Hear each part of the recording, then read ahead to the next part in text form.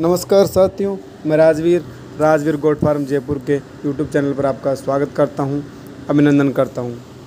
साथियों आज हम साहब आपके सामने एक बार फिर उपस्थित हुए हैं एक नई वीडियो एक नई जानकारी के साथ में। साथियों आज हम जिस टॉपिक पर बात करने वाले हैं वो है बकरी पालन से संबंधित जिसमें बकरों को सरसों का तेल कैसे दें? या बक या बकरों को सरसों को तेल देने के फ़ायदे या नुकसान क्या है? उसके बारे में हम पूरी डिटेल से बात करेंगे। साथियों, पहले तो मैं आपको ये बता दूँ कि बकरों को सरसों का तेल कब देना चाहिए। इससे, इसके कौन से सीज़न में देने से ज़्यादा फ़ायदा होता है, उसके बारे में। अगर आप बकरे कुर्बानी के लिए या फिर बेचने, सेल करने के लिए बकरे पाल रहे हैं तो आपको जब आप बकरे सेल करो, उससे एक महीने पहले से आपको सरसों का, बकरों को सरसों का तेल देना स्टार्ट करना चाहिए।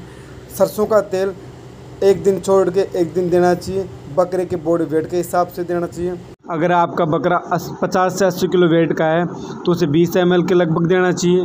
अगर आपका बकरा मतलब पचास से तीस के किलो के वेट के मध्य हैं तो उसको पंद्रह एम के लगभग देना चाहिए।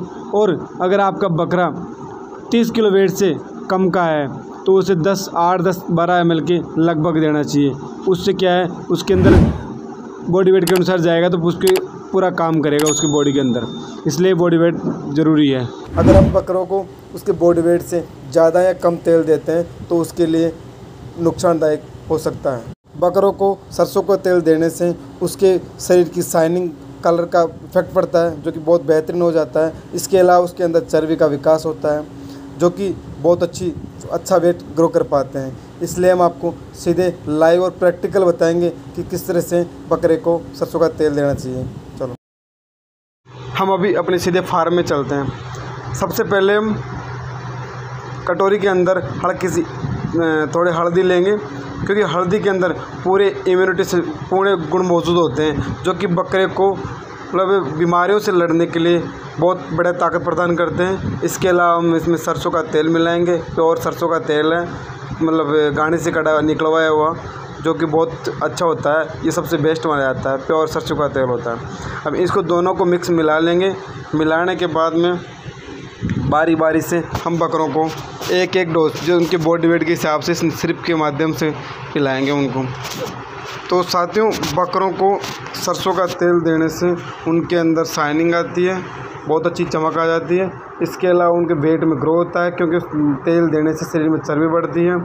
साथ ही साथ अगर हमारे बच्चे, बकरियाँ अगर बीमार होते हैं आपके बार बार तो बीमार नहीं होंगे। इनसे उसके शरीर में अगर आपके बकरे का ग्रोथ रुक जाता है बिल्कुल भी ग्रोथ नहीं होता है। तो भी मतलब सरसों का तेल पिलाने से ग्रोथ में वृद्धि होती है। देखो सर, साथियों मतलब इसको हम सामने से नहीं पिलाएँगे, क्योंकि सामने से पिलाने से ड्रेंचिंग का खतरा रहता है। इसको साइड में से देंगे तो इसमें बता रहा हूँ, आपको देखें प्रैक्टिकली इसी तरह से। आपको साइड से पिलाना है, साइड से पिलाने से तो आराम से बच्चा बकरा आराम से लेता, पकड़ के पकड़ के मैंने आराम से देखिए दे दिया बिल्कुल आराम से। साइड से पिलाने चाहिए, सामने से पिलाने से बकरे बकरे में ड्रेंचिंग का खतरा रहता है, जिससे उनकी मृत्यु तक हो जाती है। आराम से बिल्कुल साइड से पिलाए। देखो, मैंने आपको बता दिया है। इसी तरह से जैन साथियों, नमस्कार।